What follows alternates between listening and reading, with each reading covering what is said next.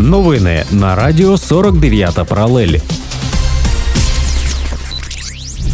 Ви слухаєте радіо 49-та паралель. В ефірі Ірина Пьостра та за секунду ви почуєте найсвіжіші новини.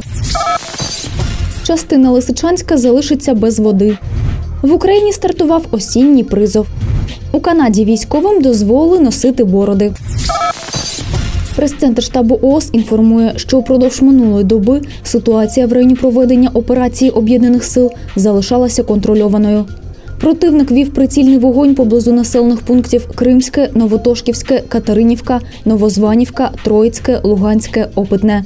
Крім того, бойовики здійснювали обстріли неподалік Пісків, Павлополя, Гнутового, Водяного, Лебединського та Широкиного. Загалом за минулу добу окупаційні війська 28 разів порушували режим припинення вогню. Як наслідок, один військовослужбовець об'єднаних сил отримав поранення. Центральну частину Лисичанська, а також Новодружиськ і Привілля тимчасово відключать від водопостачання. Про це повідомляє Лисичанськ водоканал на своїй сторінці у Фейсбук. Передає Восточний фарватер.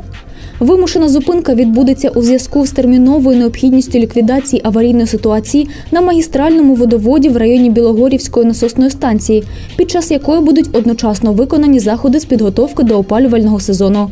Наголошується, що водопостачання буде припинено з опівночі вівторка 2 жовтня, орієнтовно до 24 години 3 числа. Відтак жителів центру Лисичанська, Новодружиська і Привілля просять набрати необхідний запас води.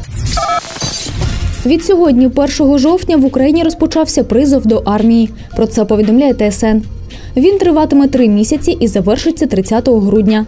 У планах Міністерства оборони призвати до війська 17 тисяч 960 осіб. Це майже на 4 тисячі більше, ніж було під час попередньої кампанії. Пов'язано це зі збільшенням категорії призовників для прикордонників та Нацгвардії.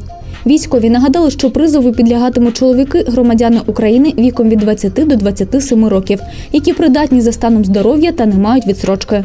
При цьому до зони проведення бойових дій новобранців не відправлятимуть, хіба що солдат добровільно захоче укласти контракт. Міністерство оборони Канади видало наказ, який офіційно дозволяє військовослужбовцям носити бороди.